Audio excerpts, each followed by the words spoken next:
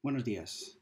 Somos un grupo de investigación de la Universidad de Oviedo que está analizando los efectos psicológicos y sociales del confinamiento en casa decretado por la pandemia del coronavirus y el papel que juega la actividad física en el afrontamiento de esta situación. En este vídeo ofrecemos una serie de recomendaciones que esperamos que sean de ayuda para la población general, a modo de lo que hemos llamado píldoras edafides contra el aislamiento. La primera píldora se titula Autorregúlate, autorregálate salud. Pretende ayudarte a autorregular tu práctica de actividad física para mantener y mejorar o mejorar tu salud durante el confinamiento. Te proponemos cinco pasos. El paso 1. Improvisa un pequeño gimnasio en alguna parte de la casa, por ejemplo, en tu habitación, en la sala de estar, o si tienes suerte, en un porche, en una terraza o un jardín. Retira muebles y deja un espacio lo más despejado posible. Quizá puedas dejarlo así durante todo el tiempo del confinamiento, para que te ayude a recordar que debes moverte más a menudo. Paso 2. Elige un momento al día para hacer actividad física. Si convives con gente, invítales a participar. La actividad física en pareja o en familia es mucho más motivante. Paso 3.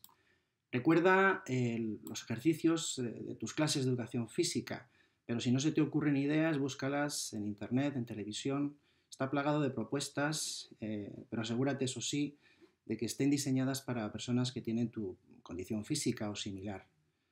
Eh, ahora tienes tiempo para hacerlo. Puedes hacer clases de aeróbic, eh, de yoga, de pilates. sorprende a los tuyos con juegos tradicionales, clásicos, adaptados para la actividad física, como la oca, como el parchís. En fin, eh, hay un montón de propuestas para hacer actividad física en casa.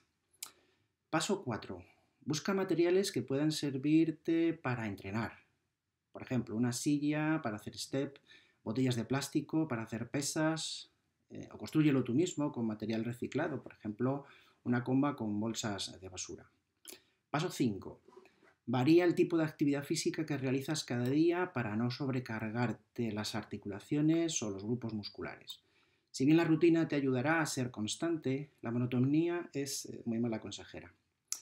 A continuación te recordamos una rutina de trabajo que seguramente ya conoces.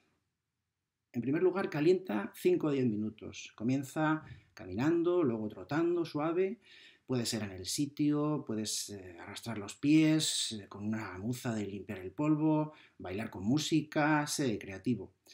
Eh, haz varias idas y venidas por el espacio disponible, usa todo el perímetro de la casa. puedes salir a otras habitaciones y realizar trayectorias mediante distintos tipos de desplazamientos, adelante, atrás, lateral, cruzando piernas. ¿Cuántos pasos puedes dar sin pasar dos veces por el mismo sitio? Eh, haz también ejercicios de movilidad articular, eh, por ejemplo, círculos de brazos, de cadera, de rodillas. En el segundo punto de la sesión introduce actividades ya de, mayor intensidad, pero según tus posibilidades. Por ejemplo, trotar más rápido, saltar abriendo y cerrando las piernas y los brazos. Intercala ejercicios o actividades intensas de fuerza de brazos, de piernas abdominales, con otros de una intensidad más suave. Por ejemplo, eh, un trote en el sitio, eh, por el espacio, y así podrás recuperar tu aliento. Eh, también introduce estiramientos de los principales grupos musculares que, que, hayas utilizado, sobre todo durante la sesión al terminar. No te olvides de ejercicios de respiración y de relajación. Tumbado, por ejemplo, puedes inspirar 4 o 5 segundos eh, con música de fondo, tranquila, relajante, mantener 4 o 5 segundos de apnea y expirar lentamente durante 8 segundos o más, dependiendo de las capacidades. Y ya estás listo para irte a la ducha. Repite esta rutina eh, todos los días de manera sucesiva, aumentando progresivamente el número de repeticiones insistimos, no se trata de hacer más de la cuenta y luego pues tener muchas agujetas, sino de estar activo durante todos los días de este periodo de confinamiento. A continuación te presentamos un enlace donde puedes eh, entrar en el cuestionario que estamos realizando eh, para, esta, para, nuestra investigación y te pedimos que bueno, participes y lo divulgues en la, en la mayor medida posible. Es muy importante este concepto, estar parado compromete seriamente tu salud. Y además este medicamento, eh, de las píldoras eh, Edafides, es gratis, es gratuito. Pásalo para que otros también puedan vacunarse. Muchas gracias, lo vamos a superar.